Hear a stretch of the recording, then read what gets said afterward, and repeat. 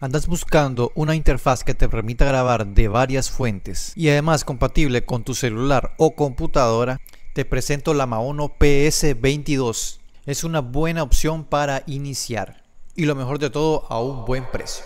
Desde ya le damos las gracias a Maono por habernos enviado esta interfaz al canal para poder hacerle su respectiva review. Esta interfaz tiene dos entradas combo XLR y plug Contamos con un modo de alta impedancia. Esto nos va a ayudar para cuando conectemos un instrumento como el bajo, guitarra u órgano. Algo que me pareció muy bueno de esta interfaz es que podemos activar el Phantom Power individual por cada canal. Recordemos que esta función es para micrófonos de condensador únicamente. Con este selector podemos poner la interfaz en modo mono o estéreo. En otras interfaces como la Behringer Euphoria UM2 o la Focusrite 2 y 2 podemos conectar el celular sí, pero no tenemos esta opción de grabar en mono. Punto para esta interfaz. Esta opción nos puede servir para hacer transmisiones en vivo desde el celular sin ningún problema. Cuenta con un conector de un cuarto o plug para los phones o audífonos. Esto es muy importante en una interfaz ya que necesitamos escucharnos en tiempo real lo que estamos grabando. Estos LED nos muestran el estado de la señal. Tiene tres colores. Verde cuando la señal está bien, naranja cuando ya está en zona de peligro y rojo cuando ya está saturada la señal. Por la parte de atrás contamos con una salida de monitores tipo jack o plug y una de las particularidades de esta interfaz es que cuenta con dos salidas USB, una para conectarla a la computadora y la otra para el celular. El tercer conector USB-C es únicamente para la alimentación de 5 voltios. Hablando un poco de los materiales de construcción, está construida en aluminio y plástico. Es un producto muy sólido y me parece de buena calidad. Su precio es de 119.99 dólares en Amazon. Pero lo que más destaca esta interfaz es que cuenta con varias salidas virtuales. Para ello tenemos que irnos a la página de Maono. En el apartado de software descargamos el instalador de la interfaz PS22 y lo instalamos.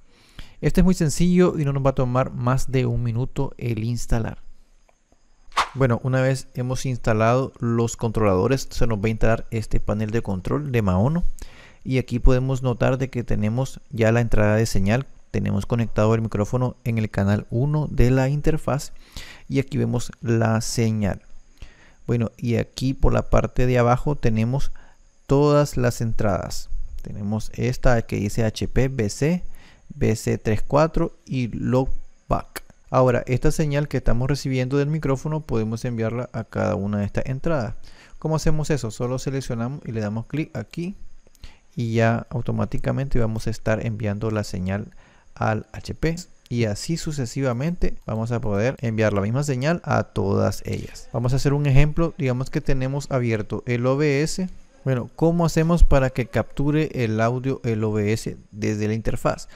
Bueno, en nuestro mezclador de audio, aquí en el OBS le vamos a dar a los tres puntitos y le decimos propiedades. Y aquí vamos a cambiar el que viene por defecto y vamos a seleccionar cualquiera de estos que vemos acá.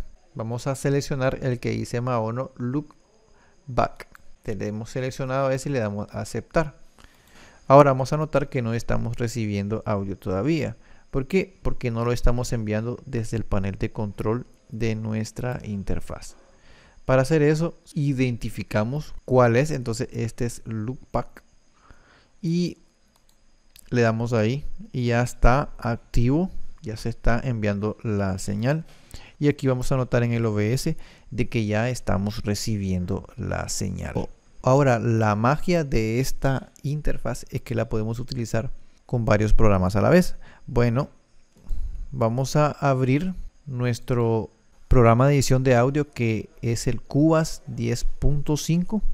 Este es el programa que utilizo yo para editar audio. Si todavía no saben qué software de edición de audio usar, pueden ir a ver este video.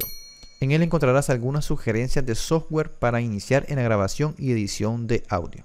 Ya estando aquí en el programa ya abrió, le damos en crear vacío Bueno, una vez abierto el programa, nos vamos a donde dice estudio y configuración de estudio. En configuración de estudio vamos aquí donde dice sistema de audio BST y aquí vamos a cambiar y vamos a seleccionar donde dice Maono Pro Studio. Le damos en cambiar y le damos a aceptar. Ya con esa configuración ya tenemos listo el programa para grabar.